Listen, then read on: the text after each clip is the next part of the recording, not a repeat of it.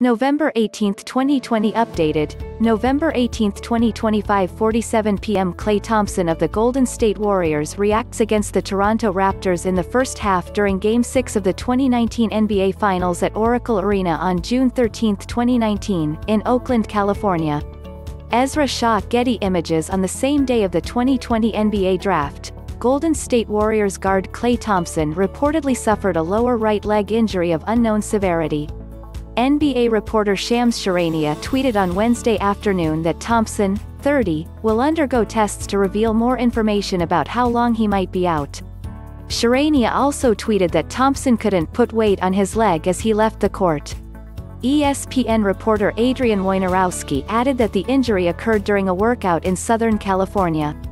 A few hours after breaking the news of the injury, Charania reported that the Warriors fear a heel injury for Thompson. The fact that both reporters chose to tweet vague-sounding updates about the Dubs guard would seem to indicate fears of a potentially serious injury that isn't confirmed yet. That said, it's of course possible Thompson's camp is being overly cautious and is concerned about a relatively minor tweak. The Warriors organization is signaling to the athletic reporter Anthony Slater that speculating too much at this stage isn't worth it,